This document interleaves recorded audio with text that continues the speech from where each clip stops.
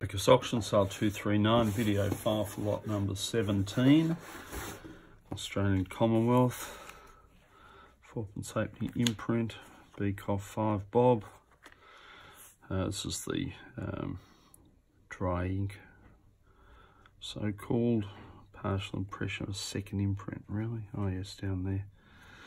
Cost our vendor $475, which must have been very exciting for him um, half sheet of uh, VG Perfin on the shilling with watermark. This is uh, a stack of T Perfins on the 20 cent Aboriginal art. Bit of uh, nice shade of the fourpence, I guess showing about how badly perforated they can be. Wow. Oh, look at that $100 miniature sheet, completely useless with those wretched printed postmarks. An alleged missing colour. And uh, same again, I don't remember. Oh, yes, the, the beads. Yeah, just fraudulent.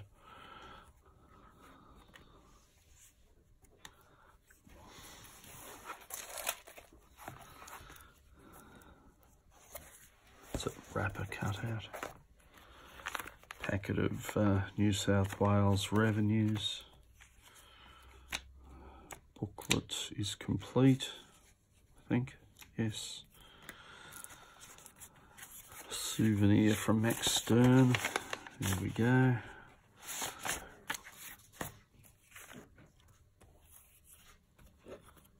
Postage dues.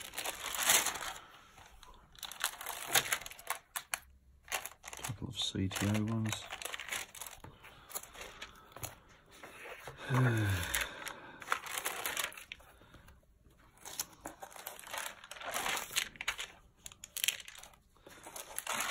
Bits and pieces, odds and sods, call it what you like.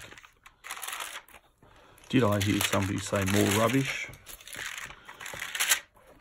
Good chance. And then we finish off with the piece of resistance. Yes, all the stamps are in there.